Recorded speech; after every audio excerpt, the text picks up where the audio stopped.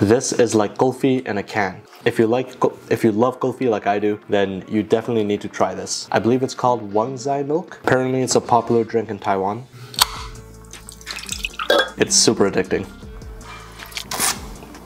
Wow. So the prominent flavor in kulfi is sweetened condensed milk. I don't think there's a lot of ingredients in here. It's not in English, but I wouldn't be surprised if this is just evaporated milk and sweetened condensed milk. It's basically kulfi in a can. Oh my god.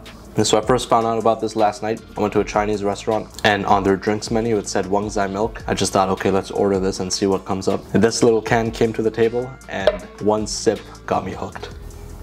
So then I went to my local Asian supermarket and I got a whole six pack. But yeah, if you guys like kulfi, try this and tell me it does not taste like a melted kulfi in a can. If I had to rate this, it's definitely a 9.6 out of 10.